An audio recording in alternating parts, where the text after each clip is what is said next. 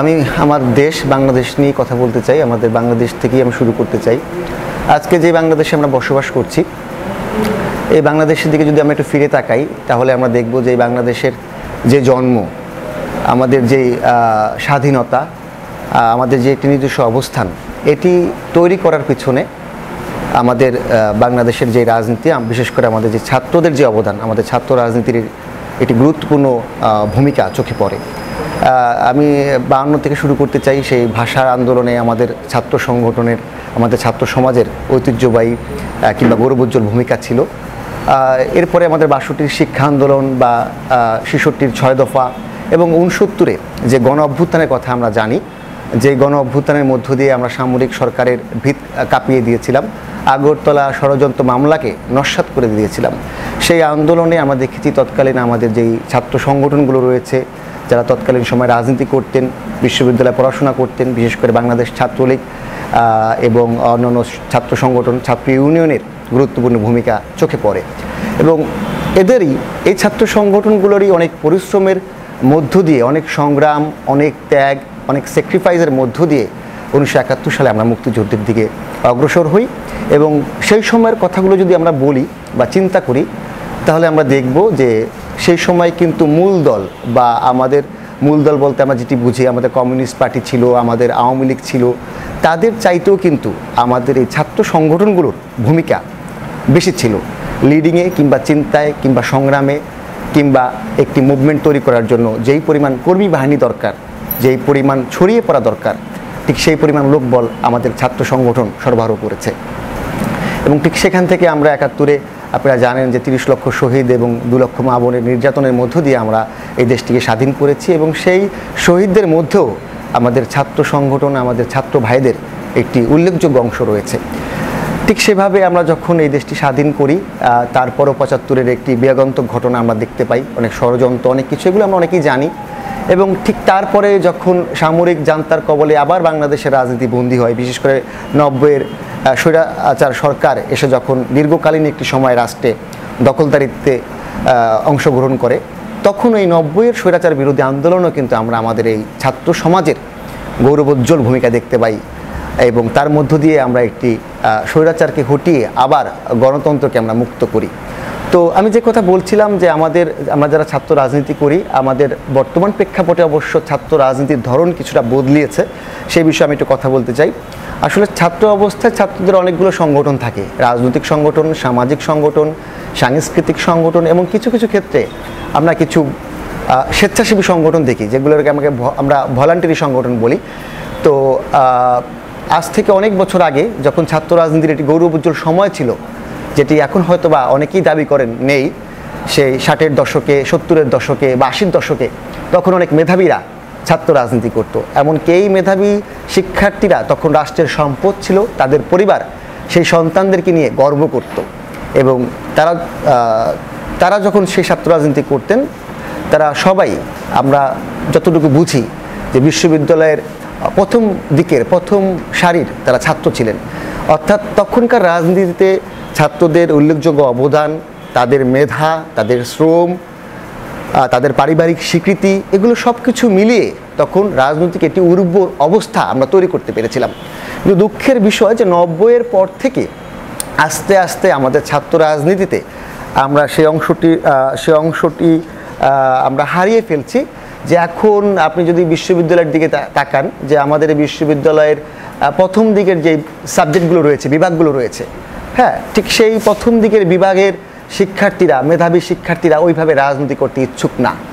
দ্বিতীয়ত, আজকে অন্য অন্য বিভাগের কথাও যদি আমি বলি, প্রত্যেক বিভাগে যারা প্রথম শ্রেণির মেধায় সাফল্য রাখছেন তারা কিন্তু রাজনীতিতে ওইভাবে আমি আমি যেটা দেখি, আমার অভিজ্ঞতা যেটা বলে, যে তারা ওইভাবে আগ্রহী না। ইভেন আমাদের বর্তমান যে পরিবারগুলো রয়েছে, আমাদের পরিবারগুলো আমাদের পরিবারগুলো আমাদের এই ছাত্র রাজনীতি করবে তার সন্তানেরা হ্যাঁ জাতির স্বার্থে, দেশের স্বার্থে অশুভের বিরুদ্ধে জেগে উঠবে, প্রতিবাদ করবে এটি এখন আমাদের পরিবার, আমাদেরকে সেই সমর্থনটি করে না। কিন্তু আমরা কিন্তু একাত্তরের প্রেক্ষাপটে দেখেছিলাম যে আমাদের পরিবারগুলো, আমাদের মা, আমাদের বাবা, তার সন্তানকে দেশের জন্য কোরবানি করতে পাঠিয়েছিলেন। যা, বাবা তুই যুদ্ধে যা যা তুই সংগ্রাম কর। এগুলো আমরা গল্প বই পুস্তক সিনেমাতে কিংবা নিজেদের পরিবারে দেখেছি। আত্মীয় স্বজনের কাছ থেকে, মুরব্বীদের কাছ থেকে গল্প শুনেছি। কিন্তু বর্তমান সময়ের প্রেক্ষাপটে আমরা পরিবার থেকে সেই রাজনৈতিক সাপোর্টটি পাচ্ছি না। এটিরও কারণ রয়েছে। এটির কারণ রয়েছে, আমি এইভাবে বলতে চাই যে রাজনৈতিক সময়ের পরিপ্রেক্ষিতে নেতৃত্ব তৈরি হয়। সময়ের পরিপ্রেক্ষিতে আপনাকে রাজনৈতিক সিলেবাস নির্ধারণ করতে হয়। একাত্তরে যেই প্রেক্ষাপটে আমরা মুক্তিযুদ্ধ করেছি নব্বই কিন্তু সেই প্রেক্ষাপট ছিল না। নব্বই ছিল অন্য একটি প্রেক্ষাপট। কিংবা একাত্তরে যেই প্রেক্ষাপটে আমরা মুক্তিযুদ্ধ করেছি বাহান্নতে কিন্তু সেই প্রেক্ষাপট ছিল না। বাহান্নতে ছিল ভাষার একটি প্রেক্ষাপট। এভাবে সময়ের পট পরিবর্তনে আপনার নতুন নতুন সিলেবাস তৈরি হয়, আপনাকে সেই সিলেবাসের বাসের সাথে আপনাকে এটি সমন্বয় করতে হয়। আমি এটিকে এভাবেই বলতে চাই যে একটি ছিল বিপ্লব, আরেকটি সময় হচ্ছে বিনির্মাণ। যেহেতু আমাদের দেশ স্বাধীন হয়েছে, এখন আমাদের দেশে স্বৈরতন্ত্র নেই, আমরা আমাদের দেশে, দেশকে নিজেরাই পরিচালিত করছি কোনো ভিনদেশি হায়না, তাবেদার স্বৈর শাসক আজকে বাংলার মসনদে নেই। সুতরাং এই সময়টিকে আমরা বিনির্মাণের সময় হিসেবে চিহ্নিত করতে পারি। এখন বিপ্লবের যে রাজনৈতিক ভাষা, যেই স্লোগান, যেই পরিকল্পনা, যেই সিলেবাস, বিনির্মাণের কিন্তু সেই পরিকল্পনা কিংবা সেই সিলেবাস থাকার কথা নয়। বিপ্লব এবং বিনির্মাণের মধ্যে যে পার্থক্য, সেটা আমাদেরকে বুঝতে হবে। আজকে আমরা যদি রাজনীতি করতে চাই, আমাদের দেশের উন্নয়ন করতে চাই, আমাদের মানুষের সেবা করতে চাই, তাহলে আমাদেরকে বেছে নিতে হবে উন্নয়নের পথ। আজকে যদি আমরা গণতন্ত্র বলতে কিছু বোঝাতে চাই, সেই গণতন্ত্র হতে হবে উন্নয়নের জন্য। আজকে যদি আমরা রাজনীতি করতে চাই, সেই রাজনীতি হবে ডেভেলপমেন্টের জন্য। যেটিকে আমাদের বাংলাদেশকে অনেক বেশি এগিয়ে নেবে এবং ডেভেলপমেন্ট বলতে আমরা বুঝি অর্থনৈতিক এটি সক্ষমতা। হ্যাঁ সেখানে অন্যান্য বিষয়গুলো থাকবে জবাবদিতা থাকবে, নারীর ক্ষমতায়ন থাকবে হ্যাঁ পরিবেশ থেকে শুরু করে আমাদের কালচারাল যে ডেভেলপমেন্ট সেগুলো থাকবে, কিন্তু মূল বিষয় হচ্ছে আমাদের অর্থনৈতিক সক্ষমতা থাকবে। তাহলেই সেটিকে আমরা আমরা বলব যে ডেভেলপমেন্ট এবং সেইটি তখনই সম্ভব যখন আমরা এটিকে বিনির্মাণের যুগ হিসেবে চিহ্নিত করব এবং সেই অনুযায়ী আমরা আমাদের রাজনৈতিক সিলেবাস পরিবর্তন, পরিমার্জন কিংবা সংশোধন করব। আমি দুঃখের সাথে বলতে হয় যে আজকেও এখনও অনেকগুলো ছাত্র সংগঠন, তাদের স্লোগানগুলো হচ্ছে জালো জালো। এখনও অনেকগুলো ছাত্র সংগঠন খুব বেশি বিপ্লব ময় কিংবা ব্যঙ্গাত্মক স্লোগানে বিশ্বাসী। উন্নয়নের সারথি আমরা এখনও হতে পারিনি। তাহলে ছাত্র সংগঠন যদি উন্নয়নকে ধারণ করতে না পারে হ্যাঁ বা রাষ্ট্রের কোনো উন্নয়নকে স্বাগত জানাতে না পারে হ্যাঁ গ্রহণ করতে না পারে, তাহলে জাতি কীভাবে সেই রাষ্ট্রের উন্নয়নকে গ্রহণ করবে? এটি আমার একটি প্রশ্ন। তো সেই জায়গায় আমি মনে করি বাংলাদেশের যারা ছাত্র সংগঠনগুলো রয়েছে, বিশেষ করে রাজনৈতিক ছাত্র সংগঠন, তারা এই উন্নয়ন কীভাবে এখন আমাদের ছাত্রদেরকে, আমাদের যারা কর্মী বাহিনী রয়েছে, তাদেরকে আমাদের একাত্তরের প্রেক্ষাপটে আমরা তাদেরকে অস্ত্রের ট্রেনিং দিয়েছি।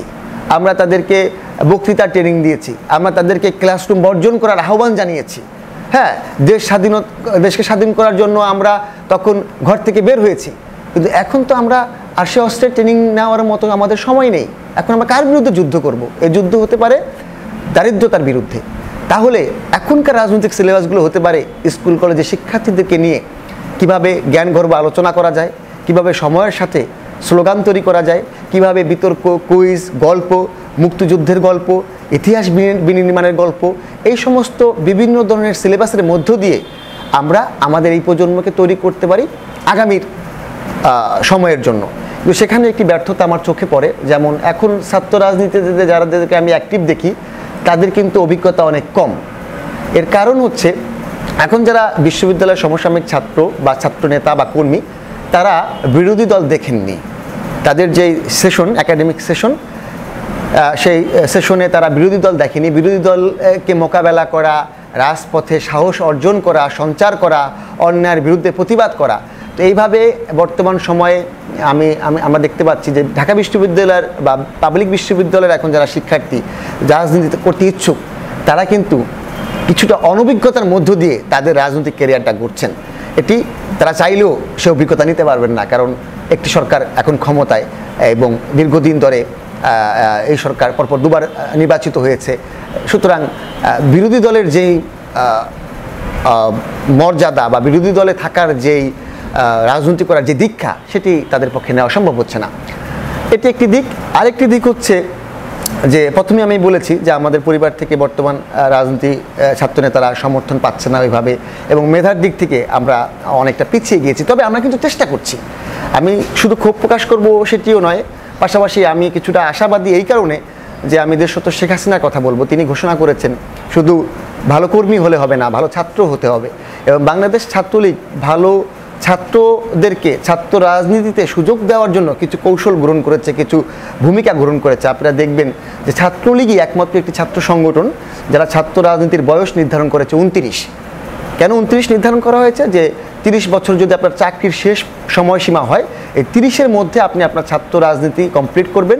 এই তিরিশের মধ্যে আপনি আপনার একাডেমিক সিলেবাস কমপ্লিট করবেন অনার্স মাস্টার্স ডিগ্রি কমপ্লিট করবেন। তারপরে আপনি হয়তোবা জীবন, জীবিকার তাগিদে আপনি চাকরিতে যাবেন, ব্যবসা করবেন, কিংবা আপনি জাতীয় রাজনীতিতে অংশগ্রহণ করবেন। তো ছাত্রলীগ একটি সুযোগ দিয়েছে যে রাজনীতির মধ্য দিয়ে আর যেন কারও কোনো ক্যারিয়ার ধ্বংস না হয়, আর যেন কোনো মায়ের কোনো কোল খালি না হয়। তো সেটি আশাবাদের বিষয় যে আমরা আমরা পিছিয়ে গিয়েছিলাম আমাদের ছাত্র রাজনীতিতে নব্বইয়ের পর থেকে। এটি কিন্তু এখন আমরা আবার ঘুরে দাঁড়াবার একটি চেষ্টা করছি। এবং সেটি শুধু ছাত্রলীগের চেষ্টা করলেই হবে না, অন্যান্য ছাত্র সংগঠনগুলোকেও এগিয়ে আসতে হবে। এবারে আমি আমাদের রাজনৈতিক ছাত্র সংগঠন বাদে আরও কয়েকটি ছাত্র সংগঠনের কথা আপনাদের সামনে তুলে ধরতে চাই। আজকে কিন্তু যারা বাংলাদেশকে নিয়ে কিছু করতে চাচ্ছেন, ভাবতে চাচ্ছেন, তারা যে রাজনৈতিক ছাত্র সংগঠন করবেন, এটি কিন্তু না। আমরা দেখতে পাচ্ছি আজকে স্কাউটের মাধ্যমে অনেকে, অনেক লিডারশিপ ক্রিয়েট হচ্ছে ডিসিশন নিতে পারছেন। আমাদের সামাজিক সংগঠন রয়েছে অনেকগুলো কালচারাল সংগঠন রয়েছে, বিশেষ করে আমাদের ডিবেটিং সোসাইটিগুলো প্রতিটা ইউনিভার্সিটিতে আমাদের ডিবেটাররা যুক্তি, তর্কের মধ্য দিয়ে গণতন্ত্রের অগ্রযাত্রাকে অব্যাহত রাখছেন। হ্যাঁ তারা ডিসিশন নিতে পারছেন তারা রাষ্ট্রকে নিয়ে ব্যাখ্যা করার সুযোগ পাচ্ছেন। পাশাপাশি আজকে রাষ্ট্রে পরিবেশ নিয়ে অনেকগুলো সংগঠন আমরা দেখেছি। তারাও পরিবেশ নিয়ে কথা বলছেন গ্লোবাল ইউথ সামিট হচ্ছে। সেই জায়গায় অনেকগুলো জায়গায় আজকে তারা ডিসিশন মেকিংয়ের সুযোগ পাচ্ছেন। হ্যাঁ নিজেকে উপস্থাপন করার সুযোগ পাচ্ছ- পাচ্ছেন।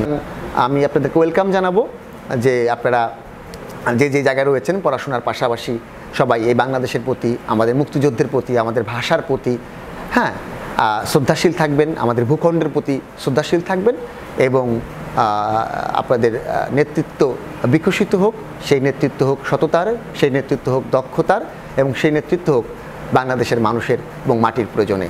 যে যেখানে থাকবেন, ভালো থাকবেন। জয় হোক বাংলার জয় হোক বাঙালির জয় বাংলা।